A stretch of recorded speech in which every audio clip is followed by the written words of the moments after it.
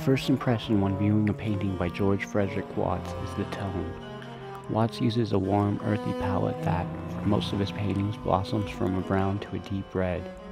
He had a very respectful presentation, engaging viewers not from the initiation, as you would see with works comprised of sharp angles and highly saturated colors, but from a point of maturity that allows the full impact of the allegorical subjects he was presenting.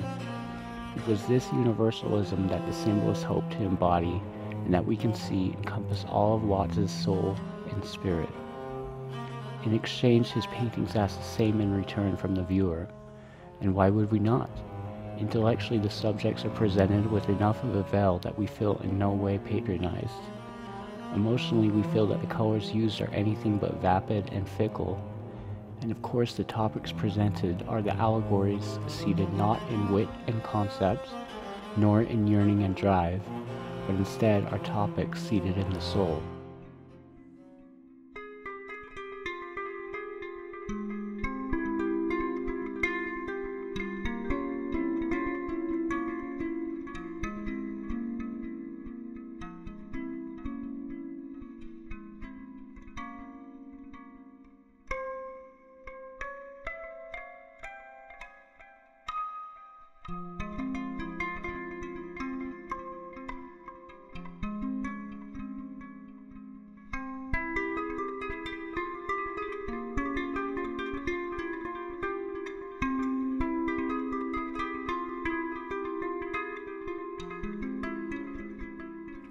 The most popular painting by George Frederic Watts is Hope.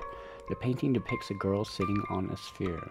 She wears a thin green dress or robe and is slumped over to place her ear next to the lyre that she holds with one hand and plucks with the other. There is only a single string left on the instrument and she is blindfolded. There should be almost nothing about this painting that differs from the feeling of vulnerability. A tiny single star is seen in the background, perhaps adding a touch of cold desolation. These feelings are all redeemed, though. The vibration of the plucked string elevates the globe that she sits on, and the viewer is not left with an impression of vulnerability, but of an innocent certainty. The distant star has an answer.